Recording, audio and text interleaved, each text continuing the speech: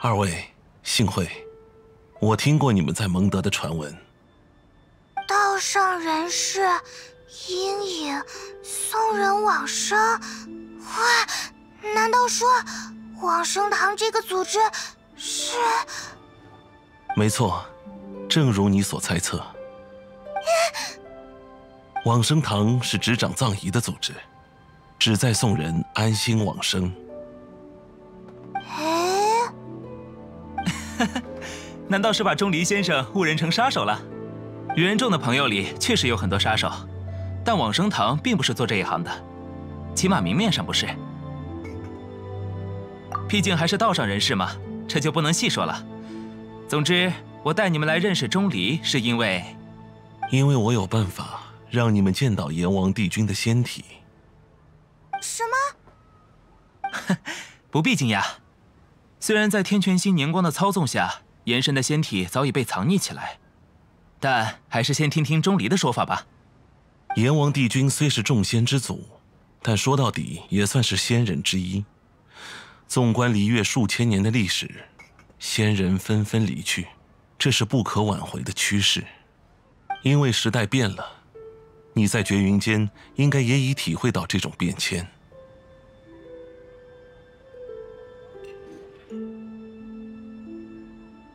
神有许多尊名，契约之神、商业之神、武神、摩拉克斯、阎王帝君，其中自然也包括仙人。如你所见，仙众的时代正在远去，人的时代正在逐渐成为现实。往年每位仙人离去时，都会有一场盛大的纪念仪式，这是璃月的传统。是啊，连真正的凶手都没抓到呢。谋杀神明的奇案，往生堂不关心这种事。往生堂关心的是，请仙的仪式如此隆重，送仙的仪式就没人管了吗？旅者，我从公子那里听说了你的事。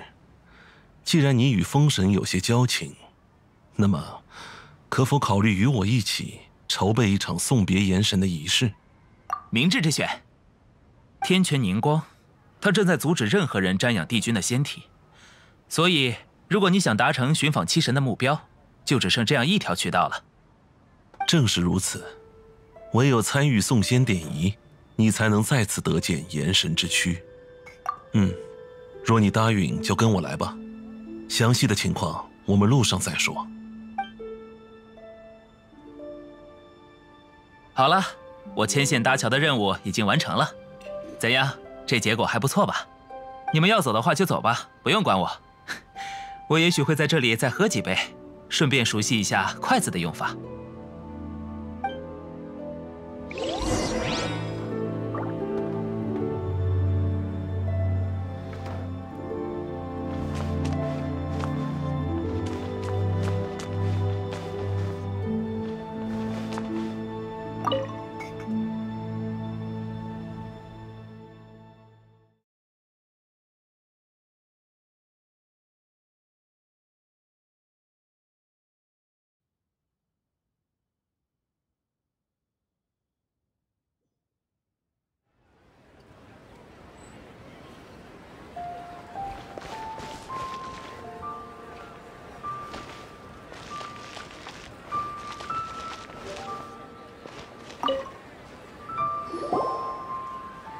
旅者，经历了神离开的城邦以后，你对离月这有神之地感受如何呢？嗯，有神之地三千七百年的历史厚度，在七国中亦是最深。筹办送仙典仪的过程，也会成为你旅途的一部分，增广。离月是陈氏七国里最繁荣的一国，往年也有神灵镇守，七星统治，所以。愚人众的许多外交手段，在璃月都施展不开。七星之一的宁光始终对愚人众重重防备。或许，这就是公子想借往生堂关系办事的原因吧。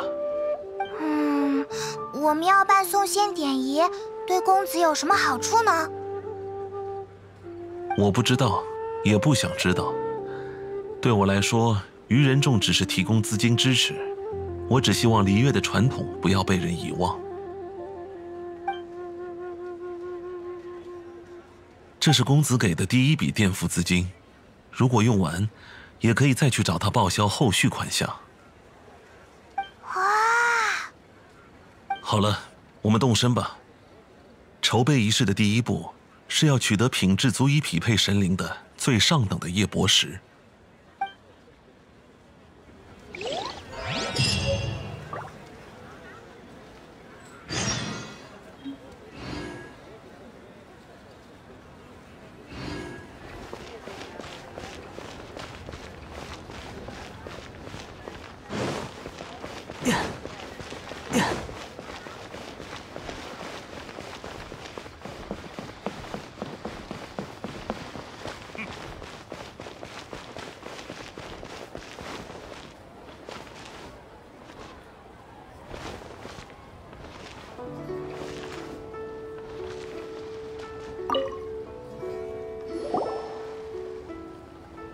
哟，客官，欢迎光临解翠行。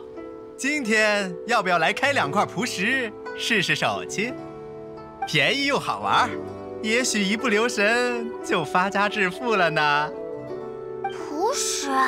不要不要，我们是来挑什么石头来着？夜泊石，品相至少要竹兆级。竹兆级的夜泊石？呃，原来不是游客啊。失礼了，我这就拿货，请。您看这怎么样？我们解翠行啊，可是玉石老字号，瞧瞧这品相，绝对上佳，简直是阎王爷爷难得降下的恩赐。您就放心随便选吧。这三块夜泊石看上去确实都很漂亮，不像是平时挖出来的那种。但到底该怎么选啊？要不我们就随便选一种回去。哦，想要我来决定吗？也好。要我说的话，答案其实很简单。嗯，答案是。老板，我全要了。好，这位老爷，我早看出您气宇不凡，出手果真阔气。啊，等等，等一下，老板，刚才他说的不算，我们再商量下。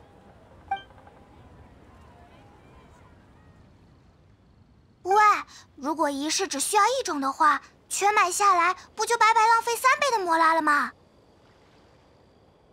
摩拉，嗯，确实如此。啊，刚才没想到这方面的问题，是我考虑不周了。啊，买东西怎么能不考虑摩拉呀？若凡事都要先考虑摩拉，也就等同于凡事都被摩拉束缚了手脚。啊？摩拉天然是货币，但货币天然不是摩拉。嗯，这就是有钱人的世界吗？虽然很懂宏观经济，但不懂得省一些小钱呢。啊，不必动摇。即使摩拉束缚了手脚，我也有在束手束脚的情况下依然能解决问题的方法。夜泊食品相的鉴别确实令人棘手。一块原矿不论好坏，它的质地、色泽以及内部的岩纹都不会有太大差别。只有当叶博石制造的器物成型以后，才会发现其中一些成品根本上不了台面。这时再去找那些奸商理论的话，他们又会以你的合成台不好、火候不对之类的理由来搪塞。好险，好险！原来这东西是这么容易上当受骗的。不过。真正的鉴别方式还是存在的，真正的内行人还是能鉴别的。如鱼见指月，观指不观月。那是什么意思啊？你用手指指向月亮，聪明人能明白你在指月，但不聪明的人只能看到眼前的手指，看不到月亮。纹路、外壳，这些都是手指。夜泊石是夜间照明用的奇石，亮度的重要性才等同于天上之月。优质的夜泊石会有更加的火元素亲和力，也就是说，在高温之下，光泽越亮越蓝的矿石，品相就越好。我已将玉石界价值千金的秘密告诉了你们，剩下就是实践了。价值千金，嗯。可惜潘萌觉得以后应该再也用不到了。老板，我们回来选石头啦，麻烦把石头都借给我们烧一下。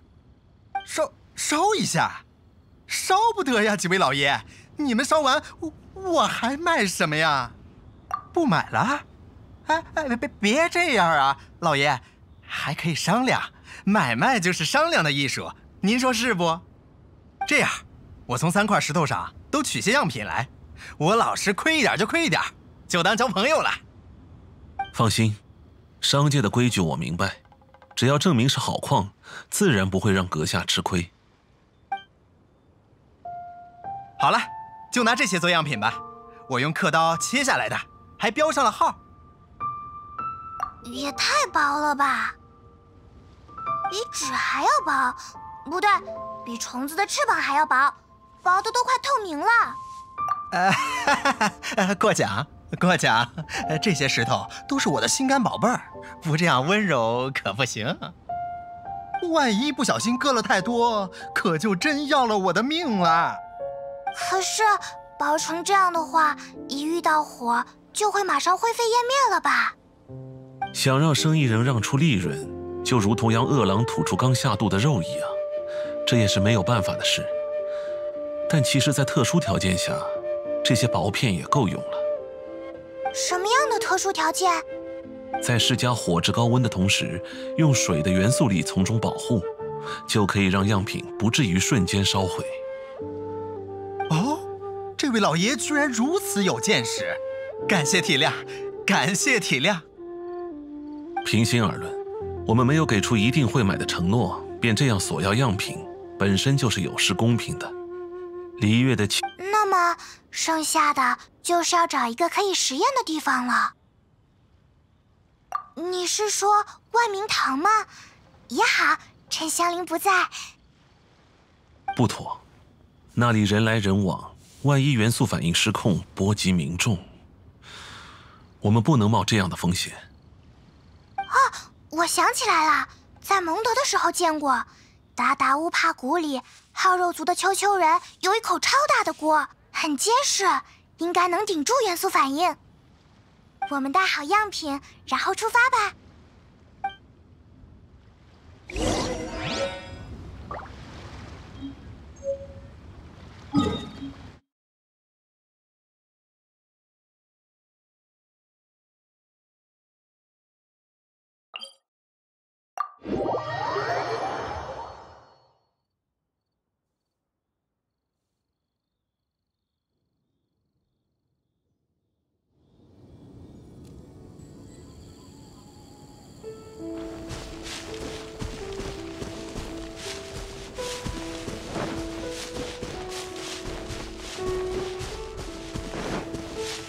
很久没有踏上风的国土了。我的蒙德朋友每次来璃月，都会带上几瓶地道的蒲公英酒。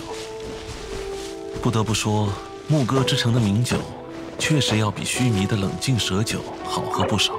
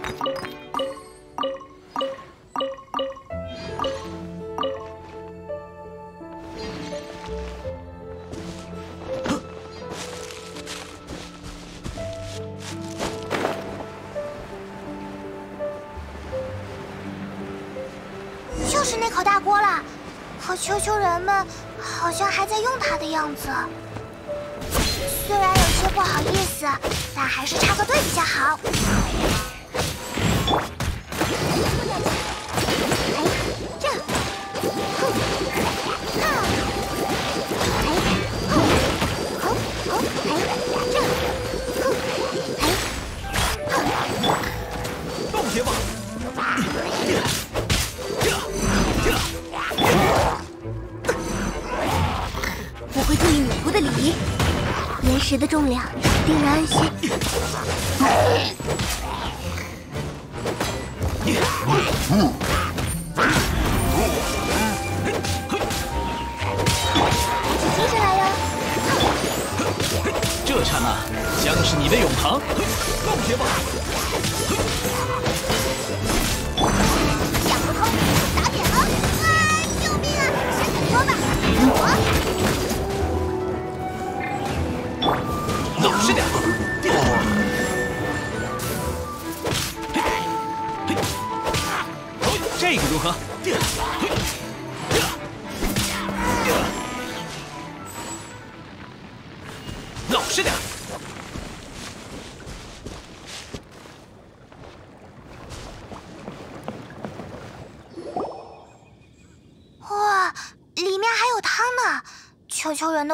真的这锅汤刚好可以作为水元素力的保护那就开始点火进行试验吧。这样应该就可以了吧？派蒙也会帮忙记着三块样品的编号和位置的。那么现在开始用火的元素力不断加热大锅直到结果出现为止。钟离先生说光泽越亮越蓝的矿石品质越好要注意观察哦。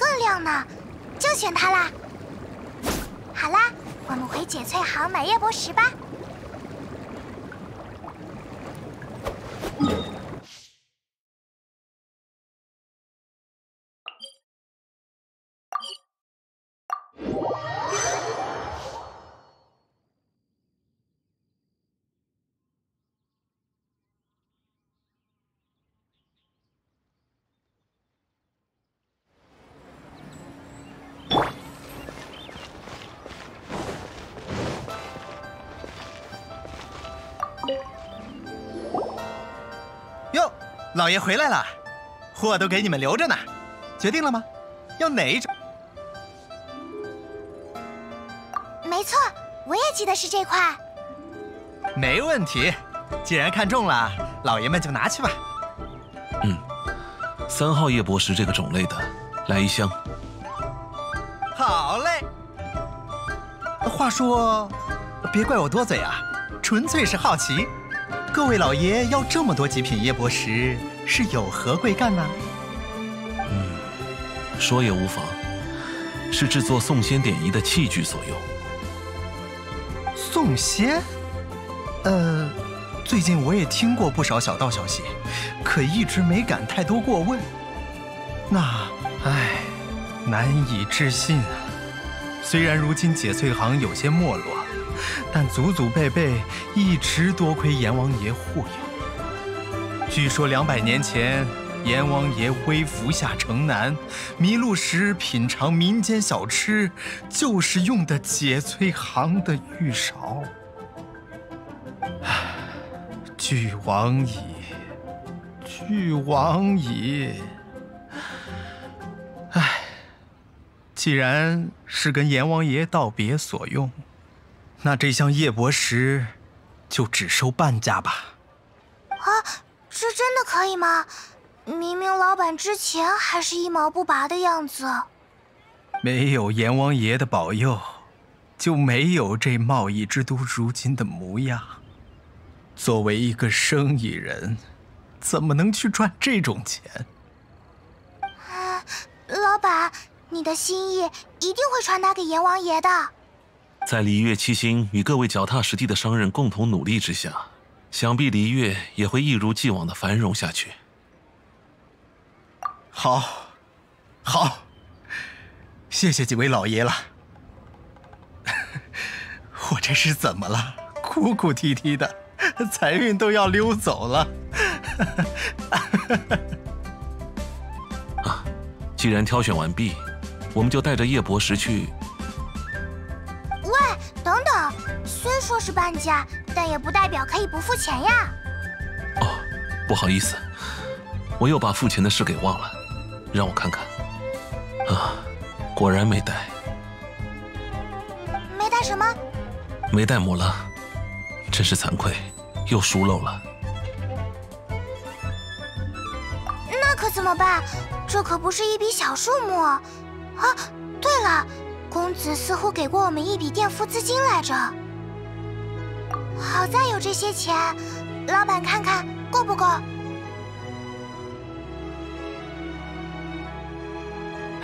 够了够了，半价的话差不多正好。其实，就算不够也没关系的。啊，不错，摩拉的事解决了就好。我们先把叶博石送去玉京台吧。那里是我预定的场地。一个摩拉都没出，钟离先生居然好意思说的这么轻描淡写。嗯，确实很有必要，我会记得的。这次多亏二位。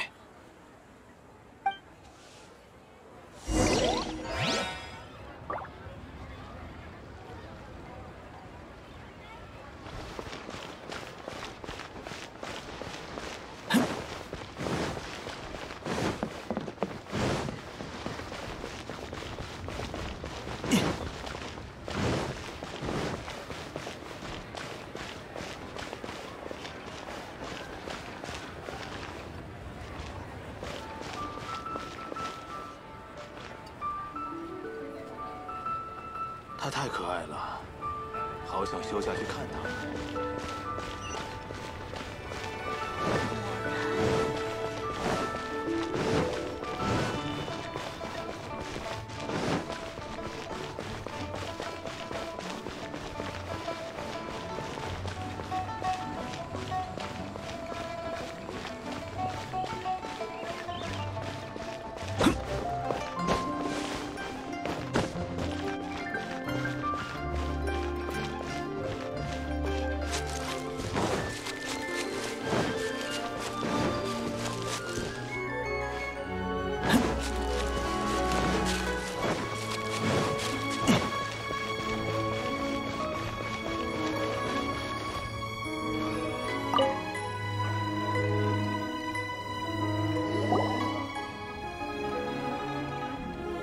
叶博士放在这里就行了。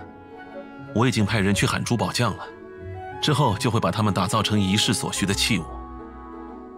对了，这么短的时间里，我还没来得及去见公子，珠宝匠的报酬也……那也只能这样了。话说回来，这里就是送仙典仪的会场。嗯，这片场地我已经租借下来，开始进行仪式的筹备了。是的，用了相同的场地，这也是离月七星默许的情况。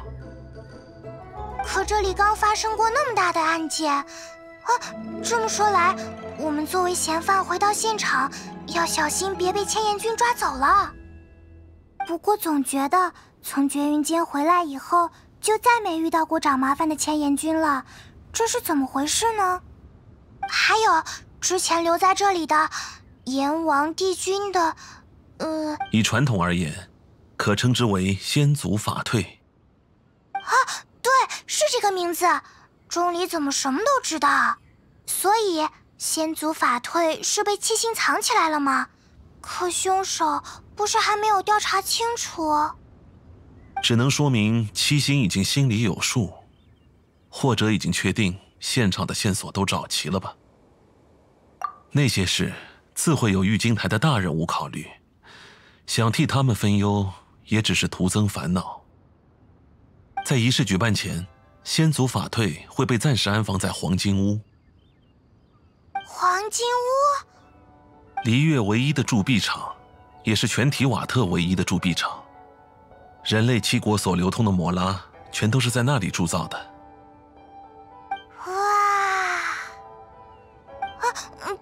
我没在想不好的事，我是说很符合莫拉克斯的身份。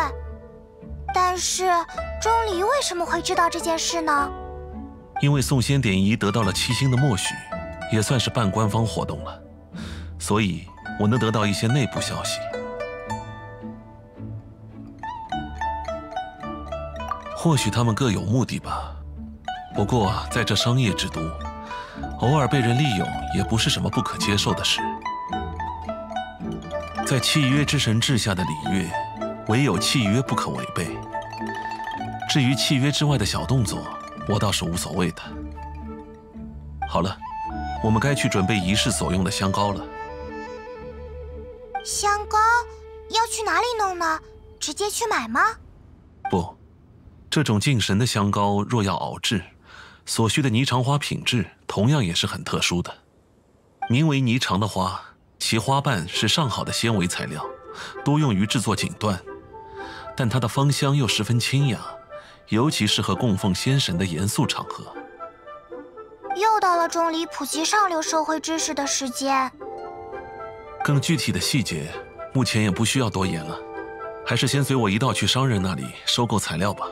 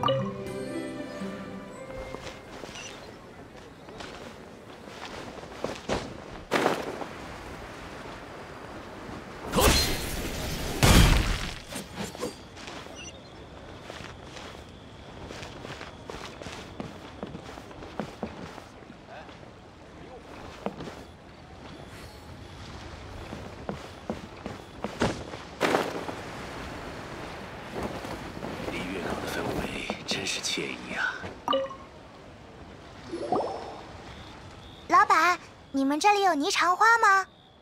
霓裳花，嘿嘿，当然有。要哪一种？嗯，哪一种？就就是最好的那种。原来霓裳花还有很多种的吗？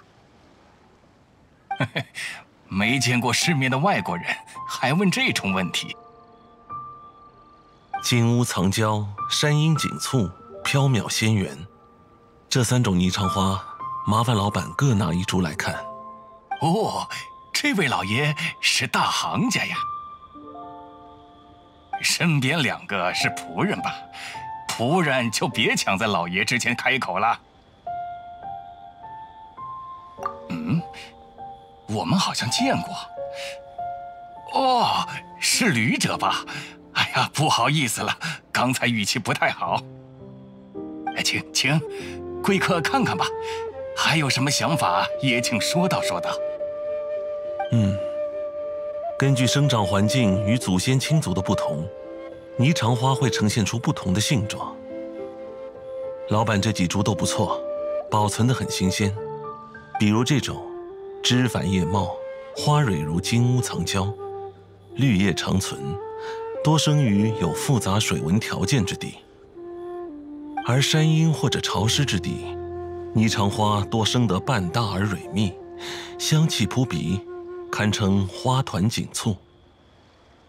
最后这类则是孤傲清冷，枝叶花排布极疏，开花时香气寡淡却极为持久，是古人登山访仙时偶然发现。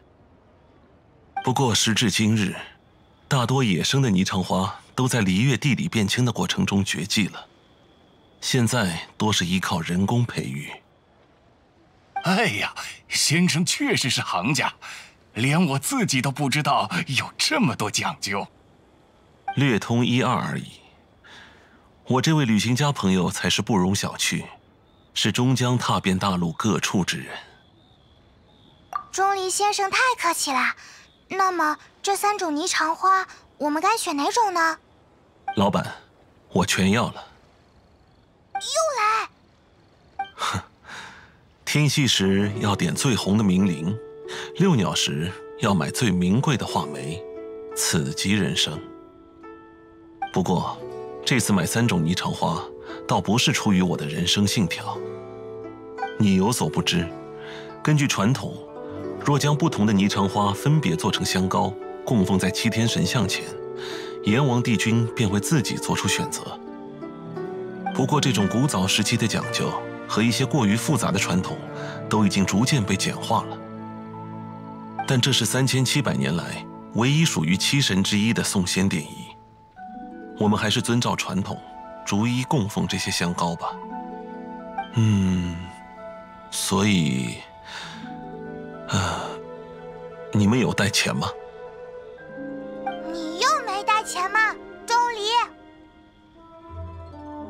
呃。客官们，不好意思，插一句嘴，你们是要把这些花献给阎王爷？这么说也没错。嗨，你们应该早说。那次请仙点仪之后，我也听到了不好的消息。不吉利的话就不说了。总之，我也一直很担心阎王爷，担心那个消息是真的。如果是为了阎王爷的话。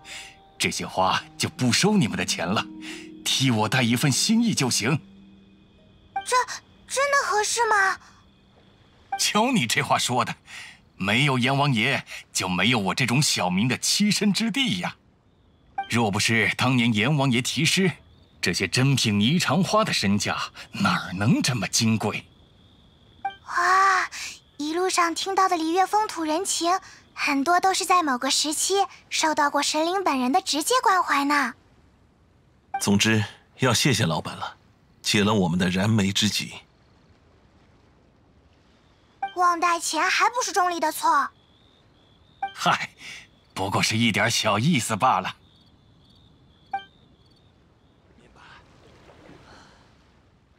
花已经到手了，可香膏要怎么做呀？最好能找一个有过制香经验的熟手。不过，我认识的人里几乎没有会亲自动手熬制香膏的。嗯，一听就知道都是有钱人。所以，要麻烦你们到城里问问看了，比如普通人家的小姐之类的。好吧，尤其是那种身上香香的，对吧？感觉还算不错的差事呢。我去七天神像附近等你们，做好香膏以后，就在那里汇合吧。冒险家协会那边会不会有合适的人选呢？要不先找兰姐问问看，我记得她是璃月的分会长来着。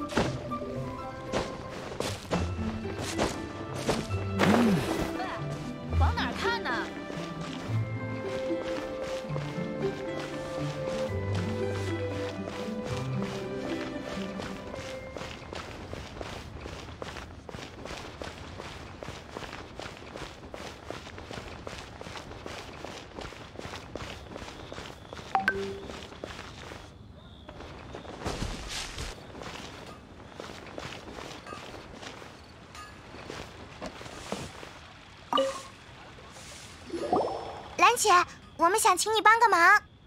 我已经很长时间不接委托了，不好意思，二位，请找其他冒险家吧。不用挂委托了，只是很小很小的一件事。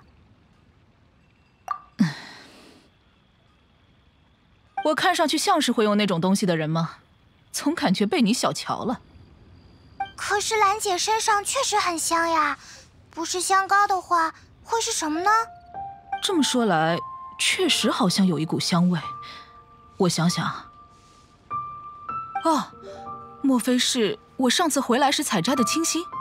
原来我一直带在身上。哎，原来是这样啊！兰姐竟然还有在路边摘花的雅兴。不过是药用而已。不要继续这种无意义的话题了。香膏的话，你们不如去找启命问问。是那位占卜师姐姐吧？嗯，确实给人香香的印象。那我们先走啦，谢谢兰姐。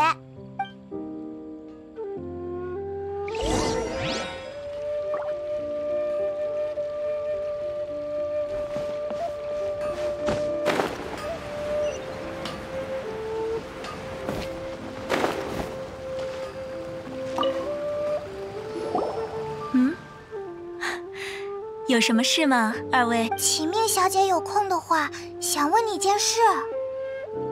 呃，啊，抱歉，没想到你会这么直白。不过我对你其实还不是十分了解。嗯，我们的意思是想问你平时用不用香膏？呃 嗯，香膏的话我没有在用啊。不过我的身上应该会有一些脂粉的味道，可能让你们误会了吧。我平常在码头附近摆摊，可不希望香膏引来更多色眯眯的水手。这样呀，好遗憾哦。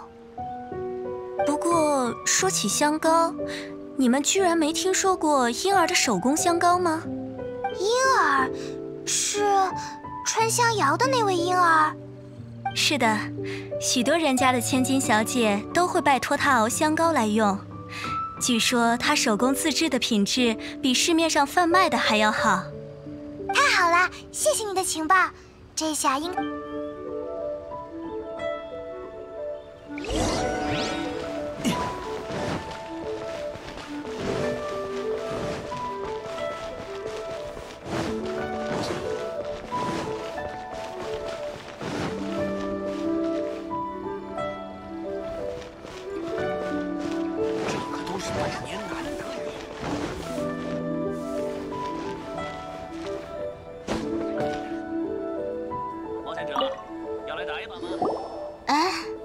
找到我了吗？我可是等你们好久了。啊，你怎么会知道我们要过来？我刚听说有两个人在满城找身上很香的人下手，我还担心你们不会来呢。某种意义上讲，这也是对我魅力的考验呀。下手？怎么说的？我们好像是危险人物的样子啊！以讹传讹，三人成虎，言行最好谨慎一些哦。放心，我知道你们的来意，是想我帮忙做香膏吧？需要什么样的呢？哎，居然要同时做三份，想不到明明这么年轻，胃口却不小呢。呵呵。该不会之前的传言是真的吧？情急之下编了个这样的借口吗？就算是献给神明，也不需要这么多种类吧？嗯，好像钟离也说过，这种传统已经被遗忘很久了。总之，花开堪折直须折，莫待无花空折枝。谁又能说你做的不对呢？咦，派蒙又听不懂了。好了，我帮你做就是了，来当我的助手吧。在熬香膏的这段时间里，你可得把心思放在我一个人身上呀。那么，去哪里熬香膏比较好呢？那是哪里？是蒙德吗？熬制香膏而已，不用那么大动干戈吧。不如选个近一点的地方，就去借用一下万明堂的厨房吧。已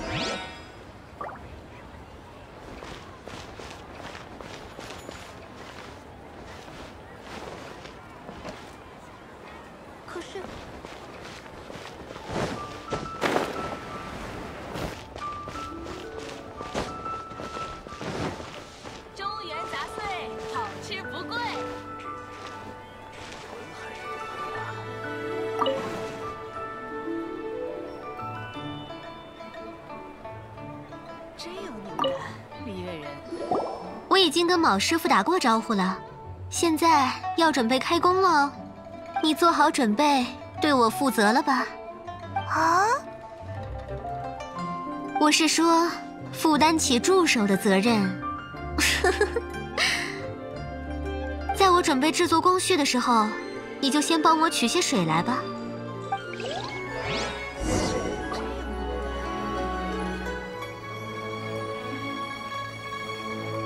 尝尝万明堂的手艺。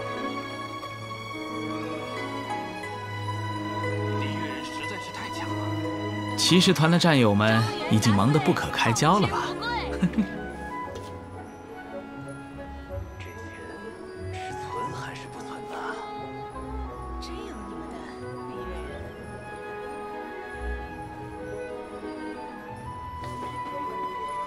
人！来尝尝万明堂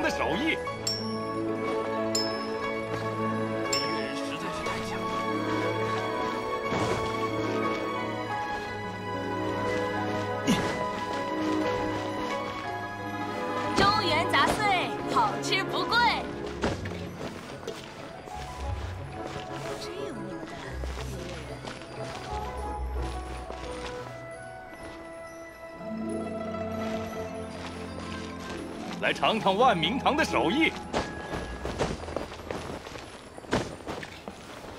李月人实在是太强了。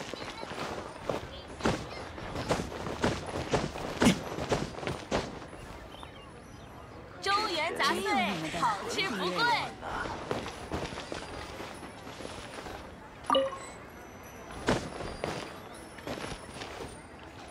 来尝尝万明堂的手艺。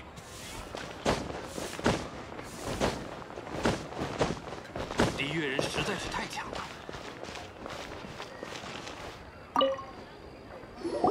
嗯，水质还不错。接下来就要请你帮忙去合成台，从霓裳花里提炼出精油了。制造香膏的手法和炼金的手法大不相同，我来教你吧。要像这样，轻轻的、温柔的握住旧处。手掌也要注意紧贴，这样才不容易滑脱。然后用你最顺手的节奏搅动，直到霓裳花的汁水。嗯，果然有这方面的天赋，一说就懂。带上这些，到附近的合成台去试试吧。记得，三种都要制作哦。虽然在精油阶段的外形很相似，但制成香膏以后，我会用不同的盒子帮你装好的。中原杂碎，好吃不贵。哦，嗯，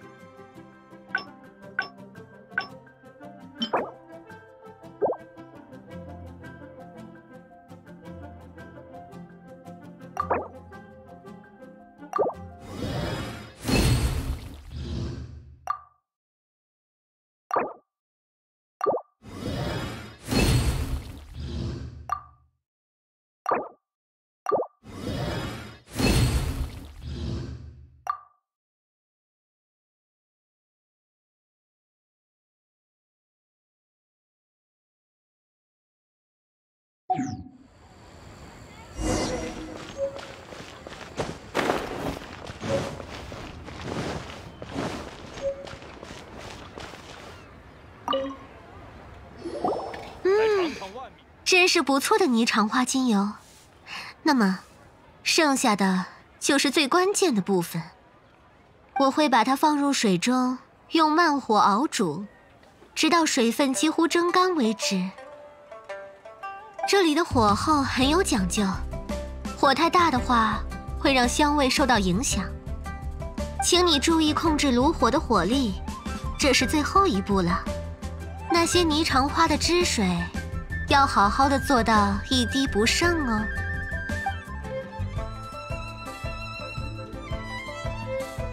三种香膏都顺利完成了，助手，你的工作完成的不错。呵呵，这也说明你是个愿意为了感情而努力的人呀，真是难得。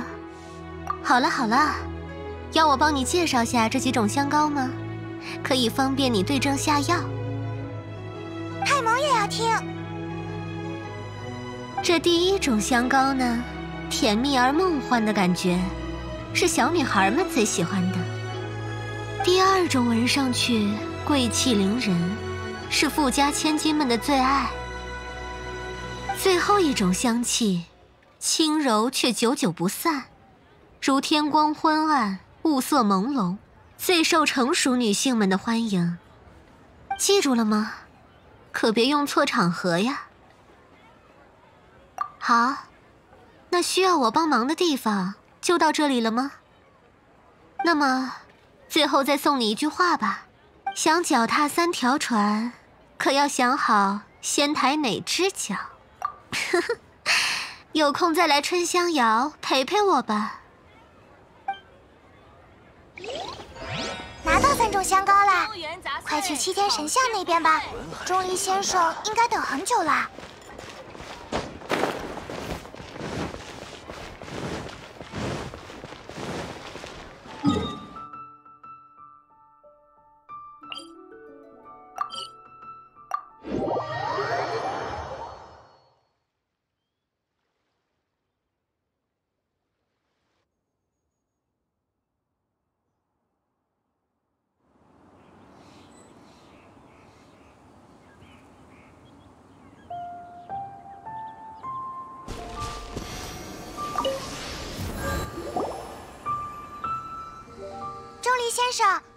把香膏带过来啦。钟离先生，刚才好像在对着神像发呆呢，是不是让你等得太久了？哦，你们回来了，我也没有等很久。比起神像所刻的阎王帝君的守望，不过是短短一瞬而已。嘿 人怎么能跟雕像比呀？说的也是。如何？你们把香膏带来了吗？三份香膏，一份不少。辛苦二位了，我们试着依次供奉上去吧。这是第一种香膏，银儿小姐说它甜蜜梦幻，是小女孩们最喜欢的。这是第二种香膏，说是贵气凌人、富家千金的最爱。第三种香膏，香气轻柔却久久不散，如雾色朦胧什么什么的，最受成熟女性的欢迎。哎，刚才那是？那是成熟大姐姐喜欢用的款式吧？难道说阎王帝君其实是一位大姐姐？说不定呢。阎王帝君的化身有万万千千，或许真有这么一个形象存在。可惜我们只见过那个特别巨大的龙形，而且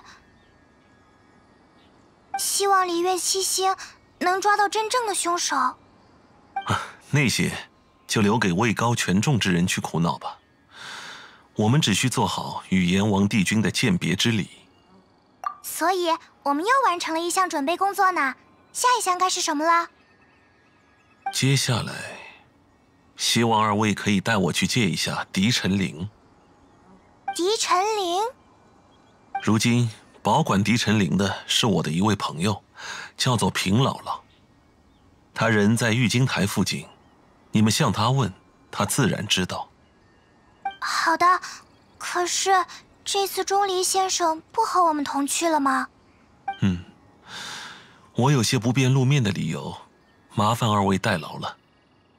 哎，这次钟离先生的态度怎么神神秘秘的？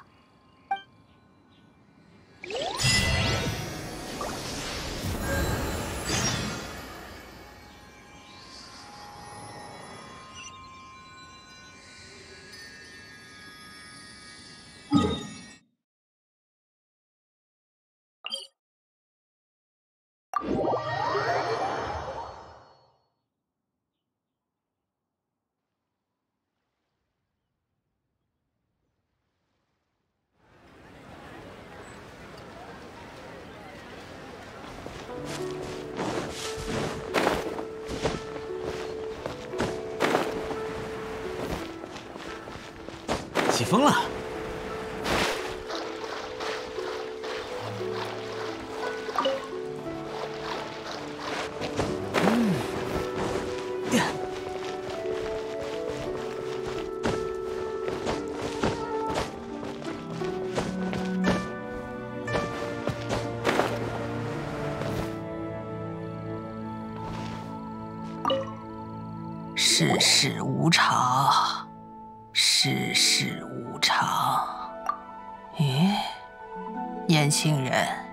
你是来赏花的吗？可惜呀，你来的不是时候，这琉璃百合都要谢完了。这些花为什么都谢了呀？在我那个年头，人们说琉璃百合通人性。如果他们听见了好声音，比如笑声啦、歌声啦，他们就会很高兴，会长得很好。但如果反过来，听了太多不好的声音，比如乱七八糟的流言蜚语，他们就会枯萎得很快。所以，现在璃月港里的状况，这些花也感觉到了呀。是啊，阎王帝君之死的传言可不是小事，这大街小巷里说什么的都有。有人说是愚人众的阴谋，有人说是海里的东西要镇不住了，还这座港口就和柴火堆一样，只要一点火星，火就要止不住了。唉，话头就到这儿打住吧。我老婆子年纪大了，就喜欢唠叨。年轻人，你们找我有什么事吗？哦，那个老物件呢？我记得，确实在我这儿，但是具体放在哪儿，我老婆子就记不清了。那是我年轻的时候，一个老朋友身上带着的小玩意儿。他看我老是眼巴巴的看着，就把铃铛送给我了。但他当年就和我说，假如以后有人来借这个铃铛，我可不能舍不得。这么多年了，这铃铛也不知道被借走了多少次，但是不知道从什么时候开始，已经很久没人再来借这个铃铛了。唉，我这个老身子骨，找起东西来慢吞吞的，你们怕是等不得哟。对，婆婆，我们陪您回家，然后我们自己来找，还能还能帮您收拾屋子呢。好了，孩子们，那个铃铛我也没有放多远。咦，婆婆，您家就在这附近吗？哇，这可是玉金台呀，真有钱！哈哈哈哈我老婆子可置办不起城里的房子。看看这个壶，我的全部家当都放在里面了。全部家当？这么说很不礼貌。就就算是这样，那……那也是个很珍贵的铃铛，对吧，婆婆？孩子们，总之铃铛就放在这个湖里。想找铃铛的话，就自己去看看吧。这婆婆真奇怪，说什么全部家当放在湖里，应该是都。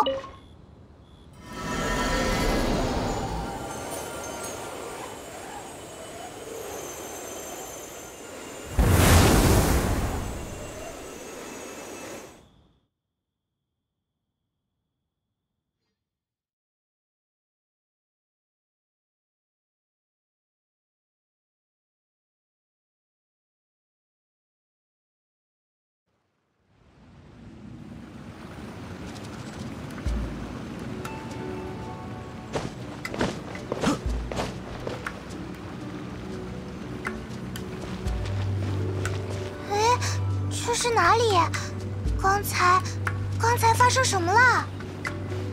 好了，孩子们，这就是我老婆子放东西的壶了。快找铃铛去吧。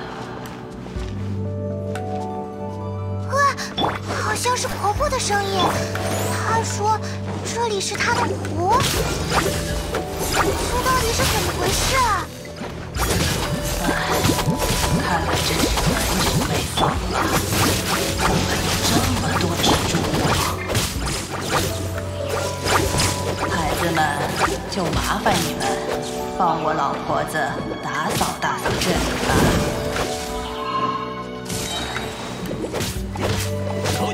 抱歉啊。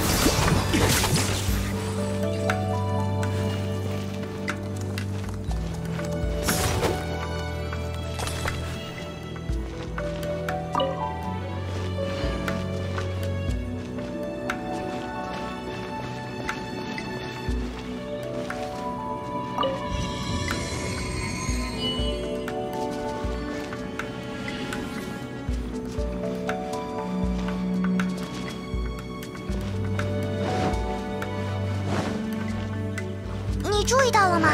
刚才的蜘蛛网是由元素构成的。这个壶里的灰，婆婆到底多少年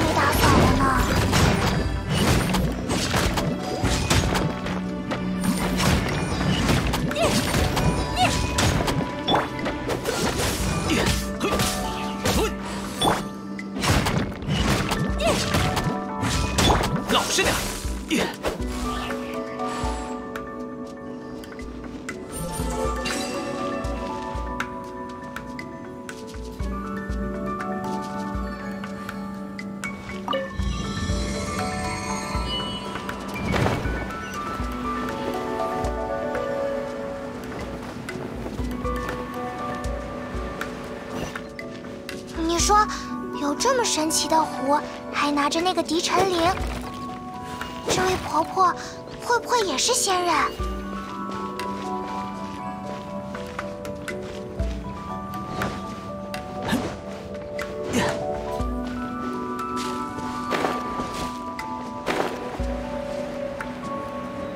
我越来越觉得婆婆就是一位仙人了。但是，仙人们不应该都住在绝云间里吗？在城里呢？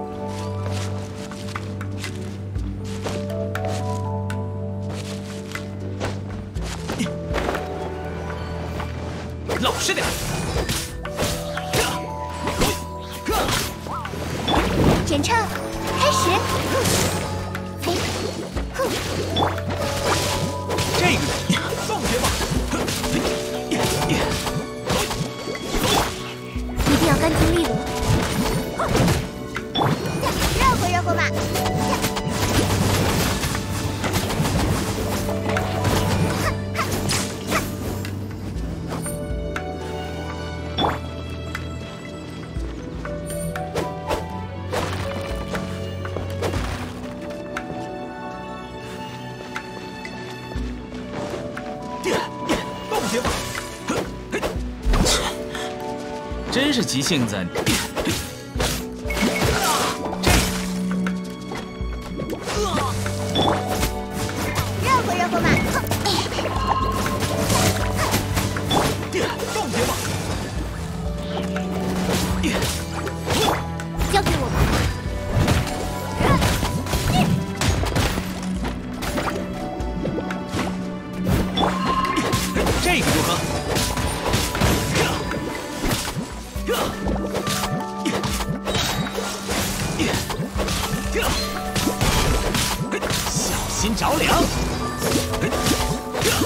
热乎热乎嘛！